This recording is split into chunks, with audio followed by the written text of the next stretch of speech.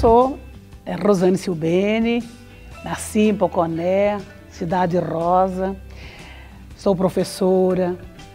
Meus pais moraram e viveram a vida toda no município de Poconé. Todos os meus irmãos, sou uma família de nove irmãos, então nós somos poconeanos de chapa e cruz, como diz. Viver em Poconé é, é uma beleza. A minha infância eu, foi muito tranquila, muito feliz. Tinha uma vizinha, é, a tia Fifia, ela era cega e ela dizia que é só um guri que podia subir no, no pé de caju. E eu era uma menina muito levada. Eu chegava na casa dela e engrossava a voz para falar como se fosse um guri. E ela, lógico, ela era cega, mas não era burra. Então ela detectava, Rosane, vai ajudar sua mãe a lavar vasilha, Rosane. Você está pensando que se você me engana, muito bom, muito o tempo que dá saudade para gente.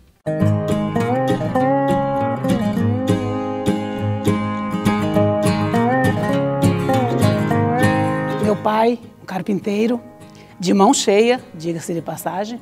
Minha mãe, uma costureira exemplar e tinha amor de sobra na nossa casa, na nossa infância. Meu pai trabalhava para as fazendas, é, era, fazia carro de boi, é, curral. Quando ele retornava, os filhos todos sentavam ao seu redor para ouvir as histórias e ele era muito engraçado. E era à noite a gente tinha que, ele tinha que falar não, vamos dormir porque já chega. O que eu aprendi com meu pai não tem universidade que dá. Ser verdadeiro nas suas palavras, não prometer, porque ele dizia, filha, prometer e não cumprir é pior do que mentir. Era um homem íntegro que nos ensinou a ser honesto, a ter ética, porque a, a, a vida é uma roda gigante.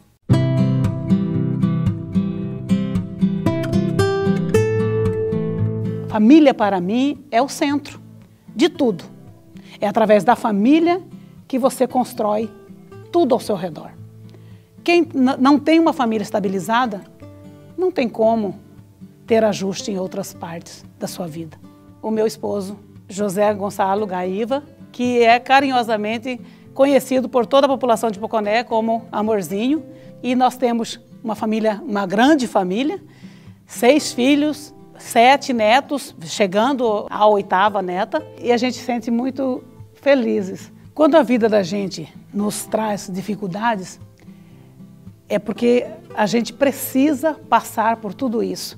Meus filhos, às vezes, teve que tomar leite de manhã e não ter outra coisa. Eu sei o que é isso. É por isso que eu trabalho para o social. Quando eu vejo alguém em dificuldade, a primeira coisa que, que eu quero é afagar, é ajudar. Me emociono muito.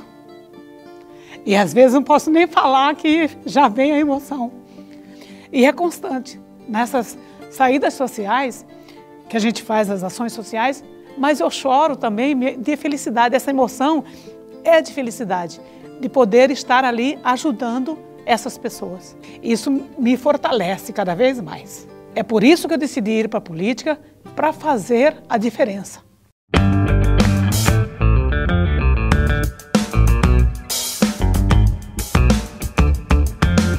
Ser professora para mim é, é ganhar pouco e se realizar com a profissão. É ver, é satisfazer com aquele sorriso de, de desde a criancinha, do, de quatro aninhos, eu posso falar porque eu tenho experiência desde dos quatro aninhos até o terceiro ano do ensino médio e voltar para casa realizada, mesmo que seja com um monte de matérias, de trabalhos para fazer, para corrigir. O professor é a profissão que todas as profissões passam por ela. Eu tenho hoje alunos que são advogados, que são psicólogos, que são é, médicos.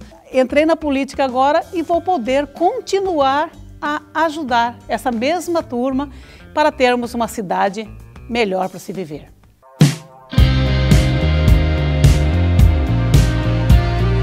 Para defender as pessoas que precisam da minha ajuda, da minha defesa, eu movo céus e terras. Me candidatei na eleição passada para ser vereadora. Fui, fui uma vereadora bem votada, fiquei primeira suplente. Um bom político, para mim, tem que ter ética, ser humano e ser capaz de se doar, mostrar o seu trabalho para o bem comum. Eu tive a oportunidade de estar na Câmara de Vereadores por quatro meses. E tem muito o que fazer, tem muito o que trabalhar. Mas tem que ter muita vontade política também. É você fazer com que as coisas boas da política aflorem. Em quatro anos dá para fazer muita coisa, se o vereador quiser.